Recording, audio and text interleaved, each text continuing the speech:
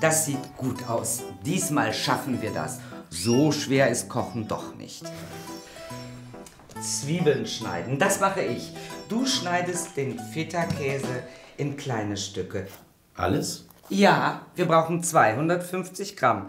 Danach schneidest du die Tomaten und den Schinken klein. Und zum Schluss legst du alles auf den Pizzateig. Schau mal, hier im Kochbuch steht.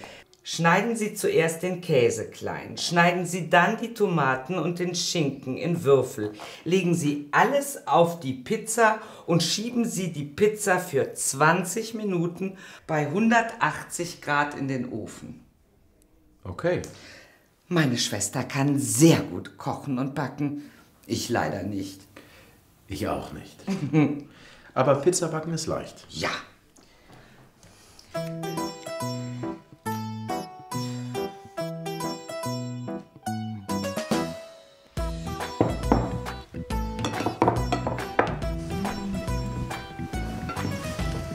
Guten Appetit.